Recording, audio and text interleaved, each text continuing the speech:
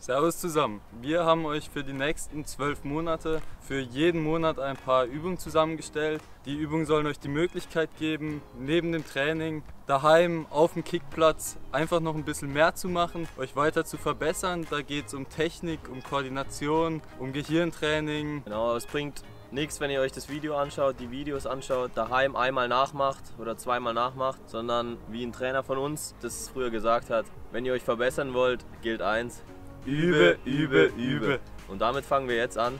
Los geht's.